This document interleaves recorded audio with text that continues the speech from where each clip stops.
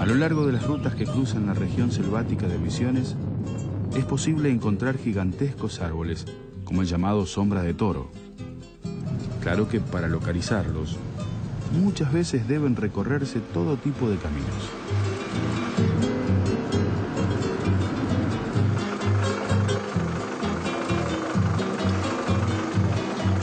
Algunos ejemplares se hallan ocultos en la espesura, rodeados por el exuberante follaje.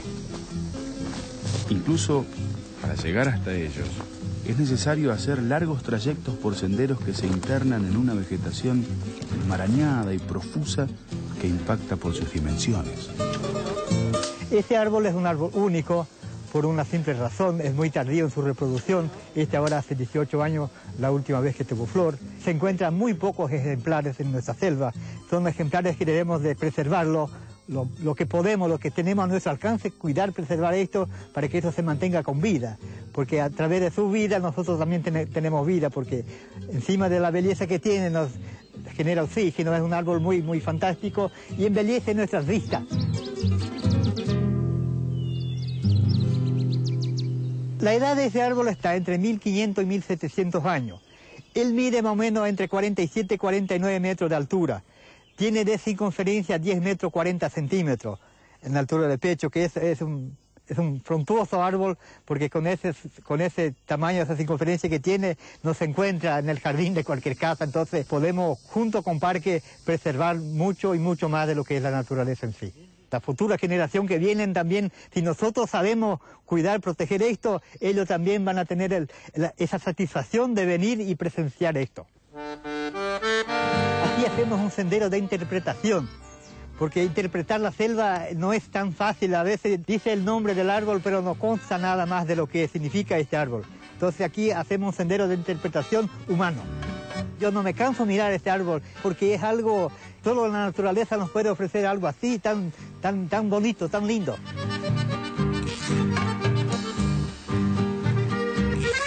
Esto realmente es un testigo vivo.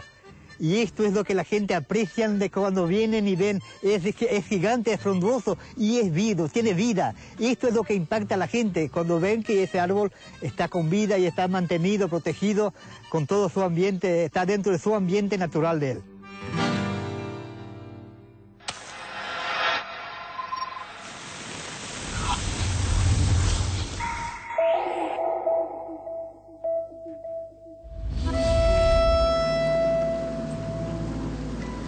Hoy en día se toca mucho el tema que es el acuífero guaraní. Este gran espejo de agua, al realizar presión sobre el manto de magma, origina el afloramiento y como fue aflorando el magma en forma de plegamiento, un 75% de ese gran espejo de agua quedó atrapado, que hoy se contorna en la Reserva Natural de Agua Dulce, que es el acuífero guaraní. ¿Qué tiene que ver con la formación de los minerales que hoy en día extraemos de este basalto, de esta roca negra, ¿no es cierto? Mucho. Dentro del agua dulce existen minerales sólidos, como carbonatos, silicios, silicatos, silicato aluminio, cuyos minerales no fueron descantados, pero sí fueron atrapados dentro del magma y fundidos. En el estudio de los minerales nosotros llamamos formación primaria esto, en donde se forman los llamados cuarzos.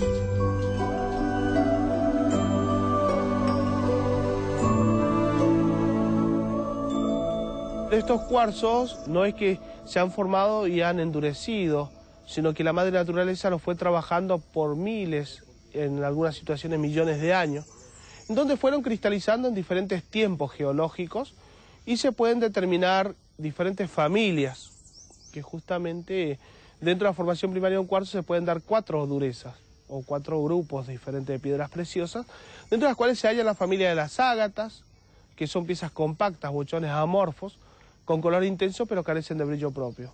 Si hablamos de variedades, en el mundo se registran 135 variantes de colores. Los minerales extraídos de la roca basáltica sorprenden por la bellísima variedad de sus tonalidades. Variedad de cristales. Técnicamente se llaman geodas las burbujas, piezas que varían en peso, tamaño y volumen, su cristalización de manera independiente, un enfriamiento muy lento, con brillo propio, y se pueden dar 60 variantes de colores en el mundo entero. amatista, cristal de roca, peridoto, cristal de dendrita, rutilada, son algunas de las variedades que frecuentemente hallamos en esta roca basáltica. La familia berilios, cuatro muy conocidas en el mundo, como la esmeralda, el zafiro, que son dos variedades que no se dan en esta tierra misionera, en este basalto, pero sí se dan, por ejemplo, turmalinas y aguamarinas. Muchos son los atractivos del lugar, aunque todo gira alrededor de las joyas y adornos hechos con piedras semipreciosas. Normalmente el visitante viene con el fin de ver o comparan mucho con lo que ven en una película, en televisión, pero cuando viene y ven una matista, un topacio en la roca basáltica y el minero picando en su entorno, prácticamente es una vista que solamente lo sabe la persona que está visitando en el momento. La artesanía de Wanda se disfrutan las formas y el colorido de sus minerales. Se disfruta, se disfruta. Más aquellas personas que son un poco interesadas en la geología, lo disfrutan un montón, aunque hoy en la Argentina es un tema que se habla mucho.